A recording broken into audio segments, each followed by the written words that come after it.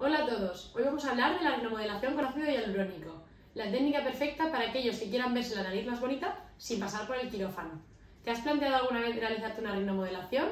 Si ese es tu caso, quédate con nosotros que vamos a resolver algunas dudas. Soy Marta García Legar, dermatóloga del Instituto Médico Ricard, y hoy vamos a hablar de la rinomodelación con ácido hialurónico. Es la técnica perfecta para aquellos pacientes que quieran moldear su nariz, hacerla más bonita, sin pasar por el quirófano. Lo primero indicar que no todos los pacientes serán aptos para hacer una rinomodelación con ácido hialurónico. Habrá algunos pacientes con defectos del tabique o algunos otros defectos de la estructura ósea que necesitarán un otorrino o un cirujano plástico para que les haga una intervención quirúrgica. Y ahora vamos con la ronda de preguntas.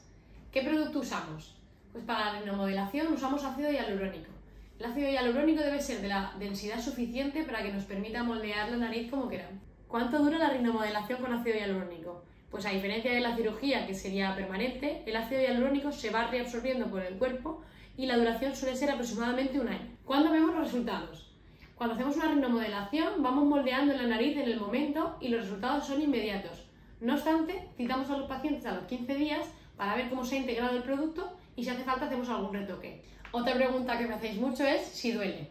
Pues la verdad es que es un procedimiento que no duele mucho, no requiere anestesia previa, solo puede soltar un poquito de presión mientras se va introduciendo el producto. ¿Qué pautas debemos seguir posteriormente a la realización del tratamiento?